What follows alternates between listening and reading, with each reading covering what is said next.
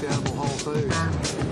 You know, no Southern party would be complete without a block of cream cheese and some really great pepper jelly on it. But there's just so many other things that you can do with this jelly. And I've brought Peggy Rose of Peggy Rose's Pepper Jelly. She's here with me today. And I'm going to show her a little trick with some duck breast. And she's going to tell us about pepper jelly. Yes. Oh, I'm so glad to be here. Thanks for inviting me. This is my local Whole Foods, being from Wake Forest.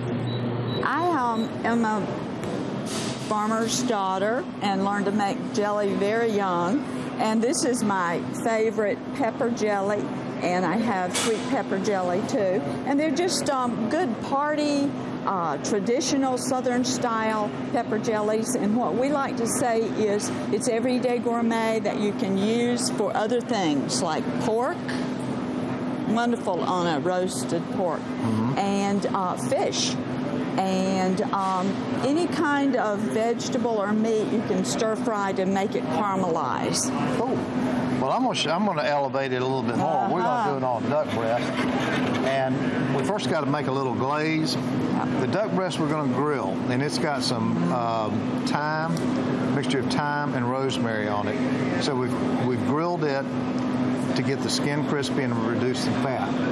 All right, and here I've got some shallots, primarily, a little bit of garlic, and then I've used a, a veal demi-glace which you can find either in frozen or you can also find a, a uh, non-refrigerated product to develop the sauce itself.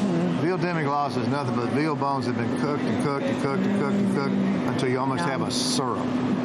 Now, but the crowning touch and what makes this so, so very good is we're going to put in some of your hot pepper jelly. Now, if you're not a big heat freak, you could use the green pepper jelly True. not as hot, but I kind of I kind of like the way that this falls across this. Now, is this recipe your recipe, Mama's recipe? Well, we I started in 1976 really because the girls at school, being education 26 years, uh, asked me to make it and put it in the lounge. That was my first uh, venue, and um, So we have just- school teachers to thank for this. And what, what I did was just sold it during the holidays or whatever and gave gave some away. But that's how I started. But like I say, we you know when you live on a farm with acres and acres of produce that comes to the farmers market for in the 40s and 50s, whatever you have, you put up. If you're born and raised on a farm, you know how to make jelly by the time you're nine. So that's where my my Define that putting up statement because there might be viewers I, out there I that did don't know like this. Yeah, canning. Uh, later, we didn't get a freezer until you know the 50s, but you you put it up to preserve it for the winter or the rest of the year. And that was typical Southern. That's right, That's what you did typical. Southern, and that's Right. just what my family did. You know, and Right. and sustainability from it. Anything that we needed to have for the winter. Sure. All right. You what I did after I put your jelly in here Mm. is I'm sort of gilding the lily. Yeah. and I'm putting the, some butter in. And once you put butter in a sauce like this, you, you kind of want to swirl it in. Um, I it almost air, recommend that the doesn't it? viewer maybe even pull this off the heat and let the residual heat do this so the butter does not break.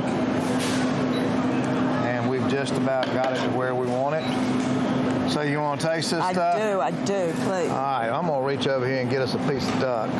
Okay. It looks wonderful. I'll hold that Take for you. that up like that. Yep. Yum. Mmm, smells good. Now, did we do your pepper jelly justice? Oh, we did. Thank you, Fred. That's wonderful. Thank you for coming. Thank you for making this pepper jelly. Join us next week on Edible Whole Foods. We'll be cooking up something else and grab you some pepper jelly and put it on something besides cream cheese. and Southern style. Southern style. You got it.